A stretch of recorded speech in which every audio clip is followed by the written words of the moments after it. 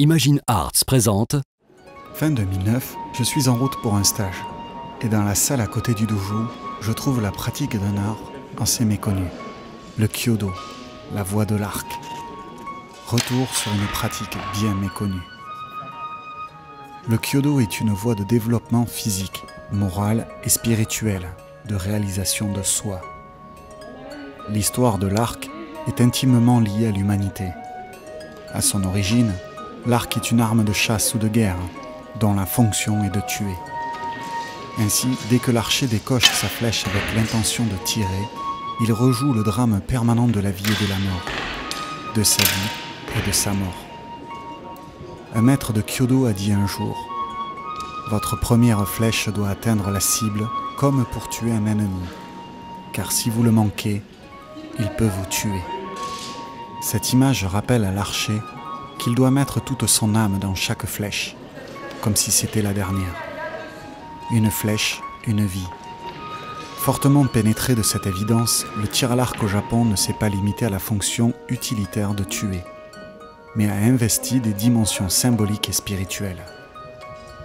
L'arc est le réceptable abritant les qualités du guerrier, les qualités propres de l'arc prenant une signification presque mystique. Pour le pratiquant de Kyodo, l'art et les flèches sont des objets de vénération, investis de spiritualité et utilisés avec respect. Le tir avec un tel arc exige une technique spéciale qui rend hommage aux qualités de l'arc. L'archer, qu'il soit droitier ou gaucher, tient toujours l'arc de la main gauche. Il ouvre l'arc au-dessus de sa tête et amène sa main droite qui tire la corde au-dessus de son épaule gauche. À cet instant, il est dans l'arc. La courbe de l'arc au-dessus de sa poignée est considérée comme masculine, dynamique et puissante. Et la courbe au-dessus est dite féminine, empreinte de délicatesse et de réceptivité. L'archer exprime cet équilibre universel des contraires pour ouvrir avec élégance, dignité et sérénité un tel arc. Lorsque l'équilibre dynamique de l'arc se confond avec celui du corps de l'archer, au moment où l'arc et la flèche sont tendus, une figure circulaire d'une grande beauté se forme. La perception et la recherche constante d'une telle harmonie se nourrissent de plusieurs courants de pensée. La voie des dieux, le Shinto, est un ensemble de croyances et de pratiques relatives aux divinités, les kami, forces naturelles personnalisées dans certains lieux, objets et parfois animaux et hommes vivants ou morts. L'arc est un des trois symboles essentiels de cette religion. Dans le Kyodo, le respect du lieu de la voie avec un emplacement particulier pour les kami, les objets propres à la pratique et leur maniement. De certains rituels et cérémonies sont des restes de cette tradition proche de la nature. Ainsi, le tir d'une flèche peut être considéré comme un acte de purification de l'archer. D'autant plus juste que le son de la corde frappant l'arc est d'une qualité particulière. Se purifier doit être entendu ici pour rétablir l'harmonie à l'intérieur d'un homme ou d'un lieu, éliminer le mal et révéler le bien. Quand on tire à l'arc, le mérite ne consiste pas à transpercer, mais à frapper le centre de la cible. C'est-à-dire avoir le geste juste grâce à une attitude mentale juste. Si le Shinto est une religion du vivant, le bouddhisme, implanté au Japon depuis 552, apporte de son côté des réponses sur la mort.